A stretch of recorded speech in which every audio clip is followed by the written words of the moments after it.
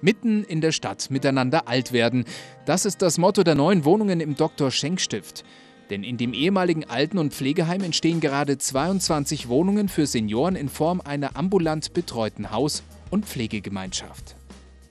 Wir wollen ein Wohnprojekt miteinander machen, ja, für ältere Herrschaften, die miteinander noch selbstbestimmt möglichst lange wohnen wollen, ja, und eine gute Nachbarschaft pflegen wollen.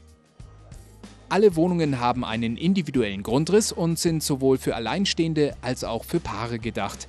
In jeder Wohnung gibt es ein modernes Bad mit bodengleicher Dusche. Außerdem sind in allen Apartments bereits Küchen eingebaut und natürlich ist das ganze Haus barrierefrei gestaltet. Die Bewohner können hier also selbstständig leben, aber bei Bedarf auch Hilfe in Anspruch nehmen.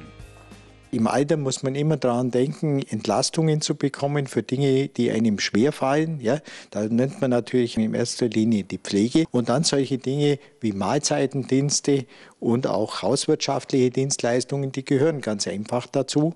Und das äh, liefert unsere Ideenwerkstatt, die auch hier im Hause noch eine Küche betreibt.